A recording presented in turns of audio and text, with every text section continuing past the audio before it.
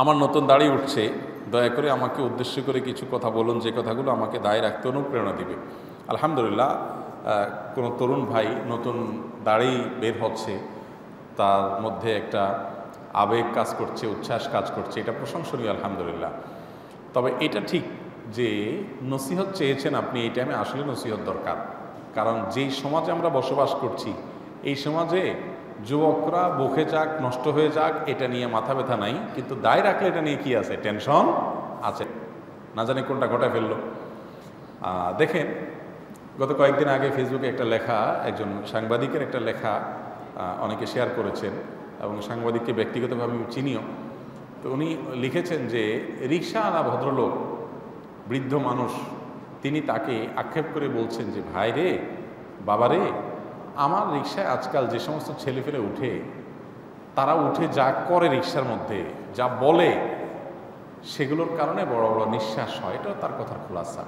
কষ্ট হয় যে এই কি আমাদের তরুণ প্রজন্মের অবস্থা? আজ থেকে বিশ বছর আগে তো আমাদের তরুণদের অবস্থা ছিল না। এখন দুই দোস্ত একসাথে হলে গালি, গালাজ আজে বাজে কথা, দুষ্টমি করে, হাসতে হাসতে গালি গালাজ করে, হাসতে হাসতে বাজে কথা বলে হ্যাঁ? এবং রিক্সালার সাথে যে বিহেভ করে তার বাপের সমান, তার চাচার সমান, এই যে মনুষ্যত্বটা হারায় গেছে, মানুষ পশুর মতো হয়ে গেছে, এটা আমাদের তরুণদের মধ্যে সমস্যাটাতে এখন প্রকট আকার ধারণ করেছে। এটা নিয়ে সমাজের কর্তা ব্যক্তিদের কোনো মাথা ব্যথা নেই যে, সন্তানগুলো তো ধ্বংস হয়ে যাচ্ছে। তারা তো ম্যানার্স বলতে কিছুই শিখছে না। এদেশের সকল ধর্মের মানুষই একটা এদেশের সংস্কৃতির অংশ হিসাবে বড়দেরকে সম্মান করে চলতে শিখে। কিন্তু সেটা হারাই গেছে সমাজ থেকে। এটা নিয়ে মাথা ব্যথা নেই। কিন্তু কোনো যুবক দায় রাখছে তো এবার ওই ওই স্কুলের টিচারের মাথা নষ্ট আর অন্যদেরও মাথা নষ্ট।